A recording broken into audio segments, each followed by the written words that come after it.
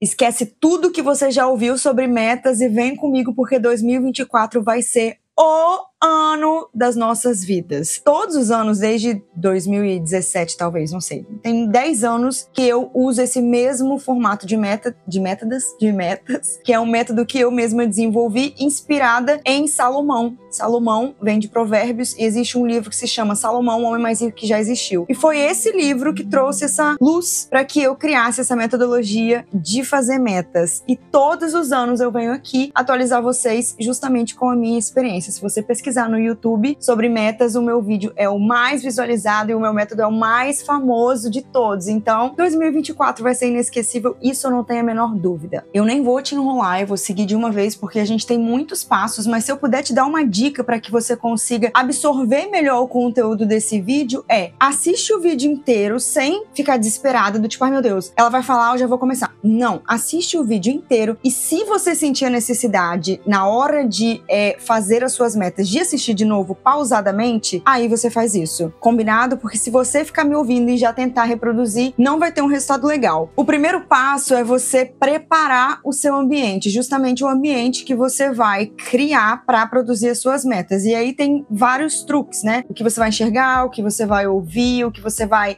sentir, olfativo mesmo que eu tô falando. Olfato é negócio de cheirar, não é, Cleiton? Ou é paladar? Olfato? olfato?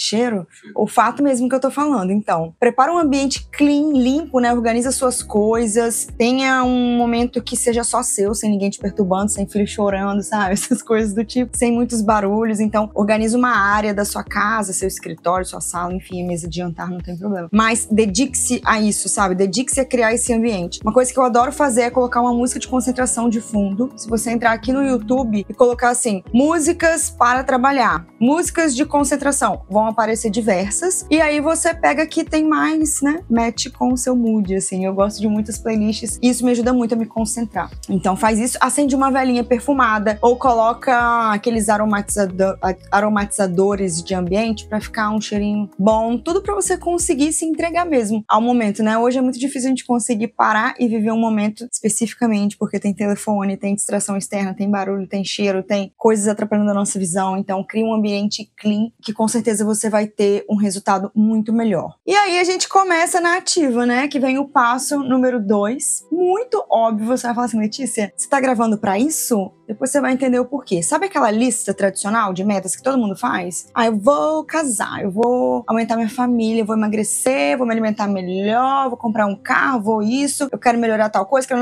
Todo mundo faz uma lista, ou a grande maioria das pessoas faz uma lista dessa e segue 1%, normal. Você vai fazer essa lista como qualquer outra lista. Então, pega um pedaço de papel, se você é do papel, ou vai no seu bloco de notas. Quem é do papel, comenta aqui. Eu tenho meu caderninho de metas desde 2017. Eu uso o mesmo caderninho, um caderninho de bolso, assim. Eu preciso dele, já falo o porquê eu preciso dele. Então, você faz uma lista comum, só que não tão comum assim, porque a regra aqui é: você só vai escrever nessa lista, uma lista mesmo, um, dois, três, quatro, cinco, seus grandes sonhos, suas grandes ambições para 2024, as suas grandes metas. E posso falar, se você colocar mais que cinco metas grandes, vai ser demais. Você não vai dar conta. Então a regra é: liste suas cinco principais e grandes metas até cinco ou menos. Se você tiver uma só, não tem problema. Duas, três, quatro, não tem problema. Seis, problema, porque aí já é coisa demais e eu consegui fazer essa conta por erro e acerto, assim, né? Quantas que eu bato quando eu tenho sete, quando eu tenho oito e quando eu tenho cinco para menos? Então é muito mais assertivo, porque você não vai ter tanta energia assim para se dedicar se você tiver muitas metas escritas. Então pega suas cinco metas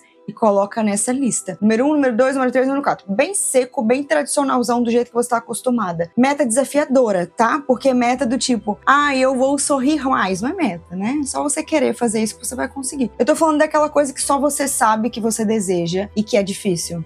Não é fácil. Isso sim é uma meta desafiadora, tá? Então pensa nessa lista, pensa nessas cinco metas ou menos e faz essa lista bonitinha. Esse vai ser o seu primeiro papel, segundo passo já, né? Check super tranquilo.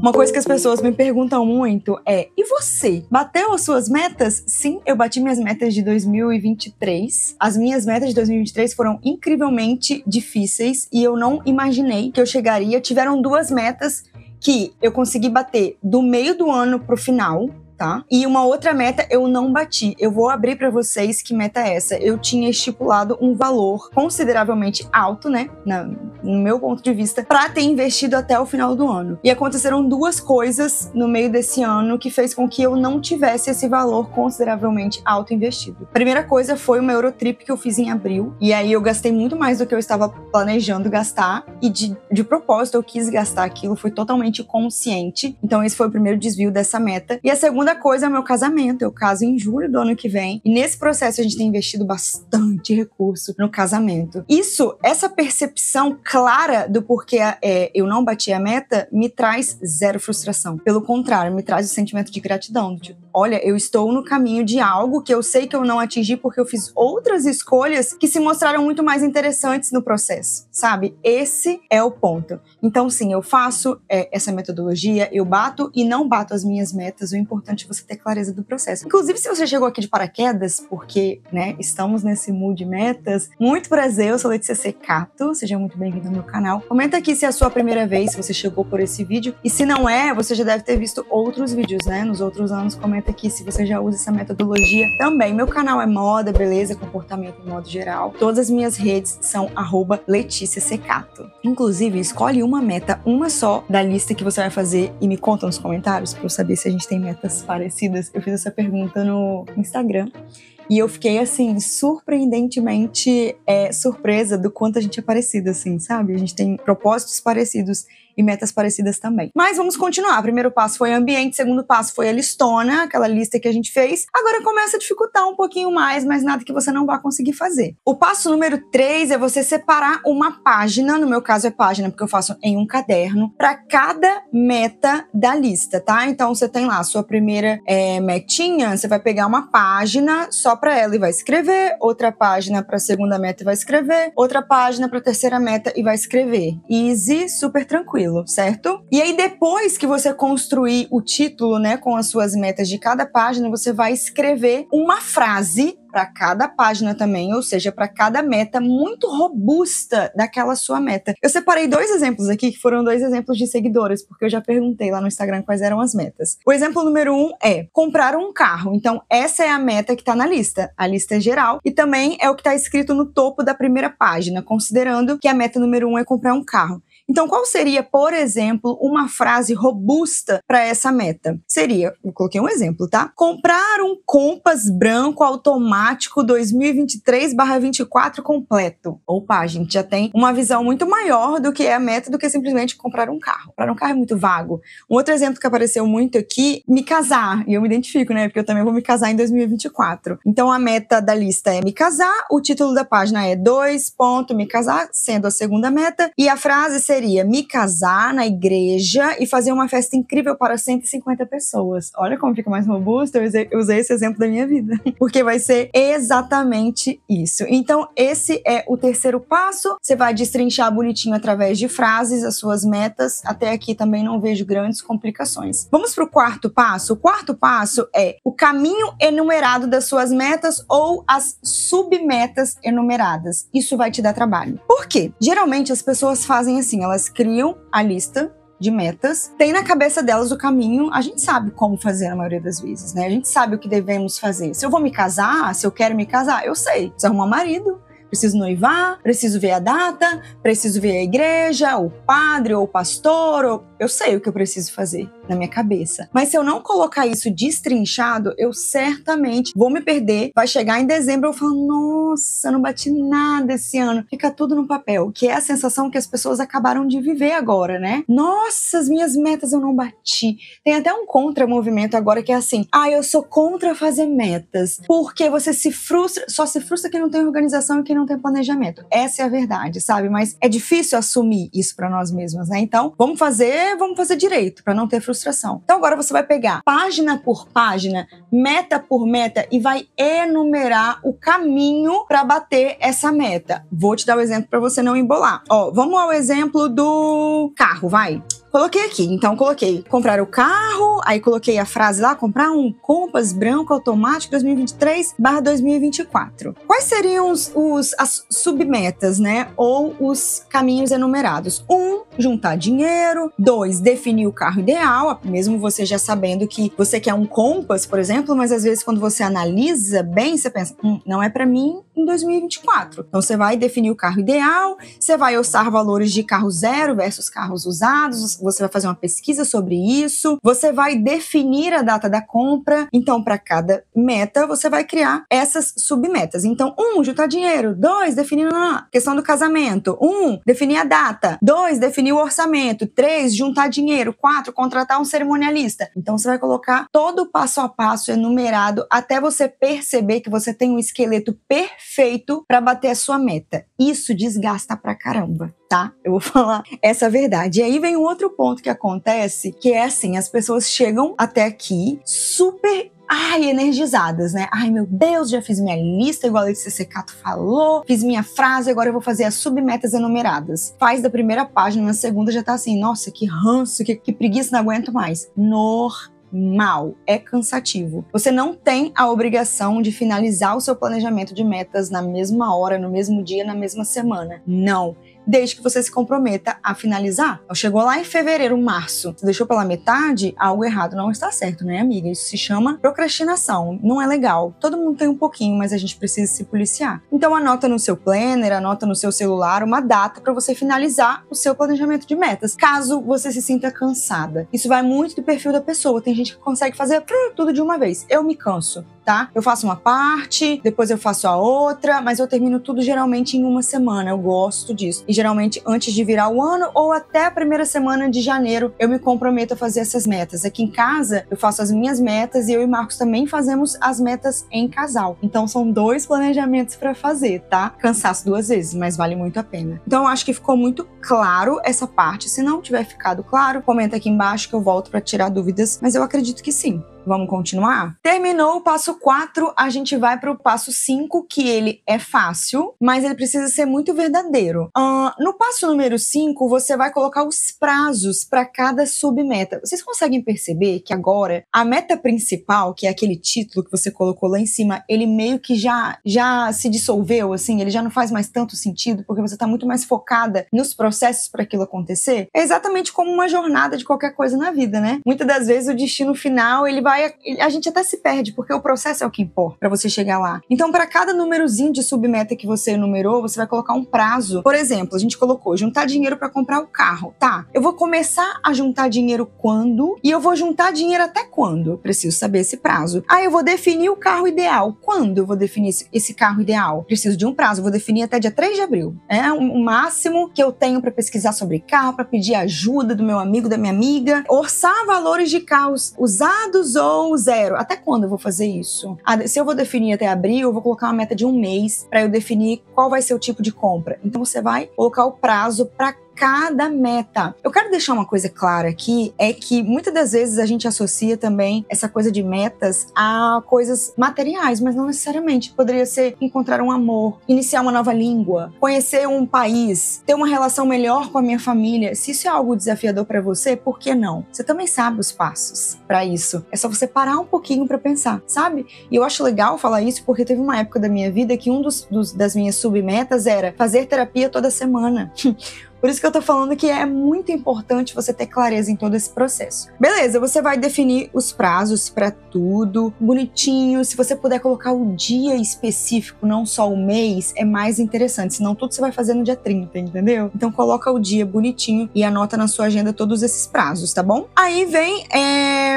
Ah, uma coisa sobre essa coisa de anotar na agenda é importante que você anote em um lugar que te sirva de notificação. Exemplo, eu falo agenda porque eu sou muito de planner. Toda minha semana fica num planner, eu sou toda organizadinha, eu dou check em tudo, ok. Mas tem gente que usa calendário, por exemplo, do telefone. Tem gente que usa site de organização de tarefas. Usa o que te atende melhor, mas que você consiga ver. Então, se você definiu que você vai decidir o seu carro ideal até o dia 3 de abril, tem que ter uma notificação aparecendo para você no dia 3 de abril, do tipo, desse data máxima de decidir carro, porque ainda que você esqueça dessa meta em todo esse processo, no dia de bater você vai lembrar. Então é importante você se notificar de cada prazo que você estabelecer. Vão ter submetas que o prazo é toda semana, e é sobre isso mesmo que a gente está falando, né? Porque se o sonho é grande, o esforço vai ser maior ainda. Para ele acontecer, concorda? E aí vem o sexto passo, que é o mais difícil também. Agora, tudo vai ser mais difícil, mas é que esse é tenso. O sexto passo é você definir o orçamento para cada submeta. Letícia Secato, como assim? Tem coisa que não vai precisar de orçamento, concorda? Por exemplo, é definir o carro ideal. Você não precisa de um orçamento para fazer essa tarefa, concorda? Beleza. Essa você não precisa de orçamento. Mas a que tem juntar dinheiro, você vai precisar de um orçamento. Quanto que esse carro custa?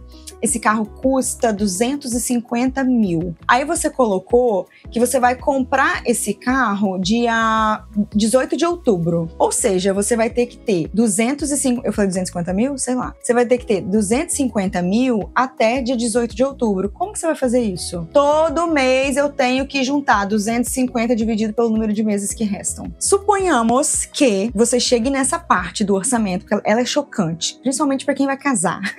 Isso aconteceu comigo ano passado, quando eu fiz essa meta. Suponhamos que você chegou nessa parte do orçamento e você viu que vai ser financeiramente impossível bater essa meta, porque você vai ter que juntar por mês 20 mil ou você vai ter que é, fazer um financiamento de 200 mil, sei lá. Você desiste da meta? Não você pode jogá-la como uma meta que você vai bater, sei lá, em 2024, em, perdão, 2025, 2026, mas que o processo dela acontece em 2024. Se eu confundir ano, tipo 2023, 2024, ignora, tá? Eu tô bugada. Eu estou gravando esse vídeo dia 22 de dezembro, Cleiton? Sei lá que dia é hoje. 20 eu tenho que pagar meu cartão de crédito, inclusive tem a notificação para isso, entendeu? Hoje é dia 21 de dezembro aqui na minha vida real. Então eu ainda tô em 2023 falando com vocês sobre 2024. Mas entenda que se você não puder bater essa meta por razões financeiras em 2024, joga o resultado final dela para 2025, mas entra nesse propósito em 2024. Então começa a se preparar para essa meta em 2024.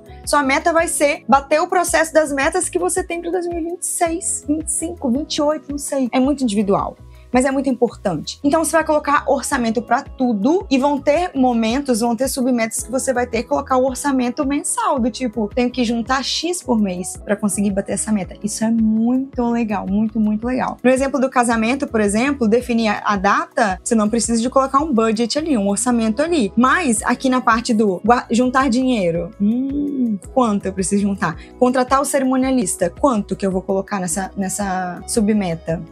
Entendeu? Aí você consegue enxergar muito mais o processo, o caminho de tudo isso. Falar de dinheiro é sempre complexo, tá? Quem vai fazer meta em casal, essa é uma parte muito legal, porque às vezes os dois sonham com uma coisa que ela vai contra outra coisa. Por exemplo, ai, é, a meta em casal é engravidar, mas a meta em casal também é ter trocar de carro, comprar um carro novo. Quando você chega nessa parte do financeiro, ali vocês precisam tomar uma decisão. E isso é muito legal, porque isso se chama realismo. As pessoas têm muita dificuldade, principalmente o brasileiro, porque é muito cultural, de conversar sobre dinheiro tá? Então, isso aqui vai ser desafiador. Isso aqui vai cansar também. Se você quiser parar para tomar um cafezinho, você para, porque essa parte é bem estreita, assim, sabe? Vai definir quem vai conseguir terminar o planejamento e quem vai parar. É isso. Se você passar daqui, saiba que você está muito próxima de atingir todos os seus sonhos em 2024. Eu creio e profetizo.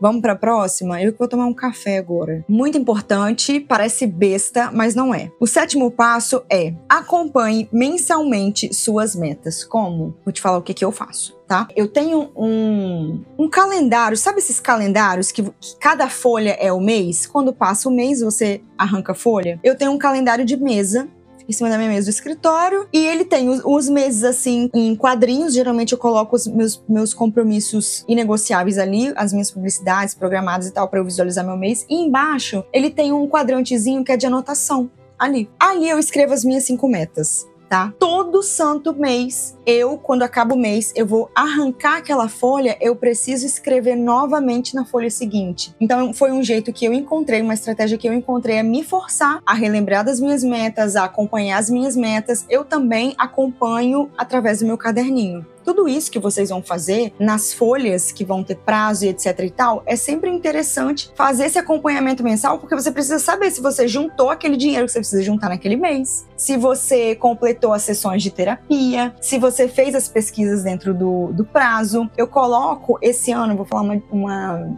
uma meta minha. É, desse ano eu tinha uma meta voltada para emagrecimento, para vida saudável e tudo mais. E essa meta começava em abril. Aí eu coloquei lá, não me lembro o título que eu coloquei, mas era de vida saudável, eu coloquei todos os meses. Abril, maio, junho, julho, agosto, setembro, outubro, novembro, dezembro. E um quadrinho vazado do lado de cada mês. Todo mês, quando eu via que eu tinha que arrancar lá a folha do calendário e reescrever, eu ia lá no caderninho. Esse mês eu dei check nessa meta? Dei. Não dei.